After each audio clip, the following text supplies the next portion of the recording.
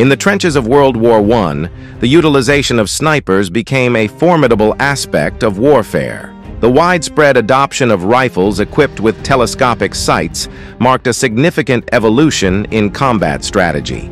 Initially embraced by the German Imperial Army, these scoped rifles proved remarkably effective in the challenging conditions of trench warfare.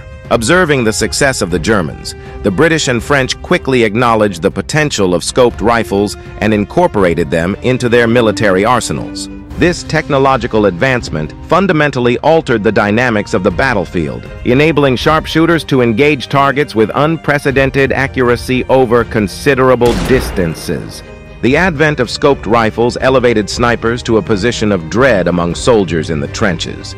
Their ability to fire from well-concealed positions, coupled with the evolving art of camouflage, made them increasingly challenging to detect. In response to this looming threat, soldiers developed a heightened awareness, going to great lengths to avoid exposing themselves to sniper fire. This mutual escalation in tactics led to a cat-and-mouse game between snipers and soldiers. Recognizing the need to counter the menace of snipers, soldiers became adept at minimizing their exposure. In turn, snipers adapted by acting swiftly and capitalizing on the briefest opportunities to take shots at their adversaries. A fascinating aspect of this struggle was the ingenuity of camouflage units. Recognizing the need to deceive enemy snipers, these units crafted elaborate decoy heads using readily available materials. One of the most popular choices was paper mache, a cost-effective and versatile material that was widely used before the war in various forms of entertainment. These decoy heads, meticulously fashioned in small, improvised workshops on the front lines,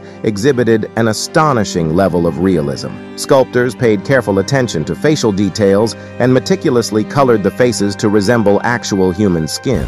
This commitment to authenticity was crucial, considering that the decoy heads would be scrutinized through scopes equipped with magnifying lenses. To further enhance the lifelike appearance of the decoy heads, some were equipped with rubber surgical tubes connected to the mouth, featuring a strategically placed cigarette. When air was blown through the tube, it created the illusion of a soldier casually smoking, increasing the likelihood of attracting the attention of a sniper.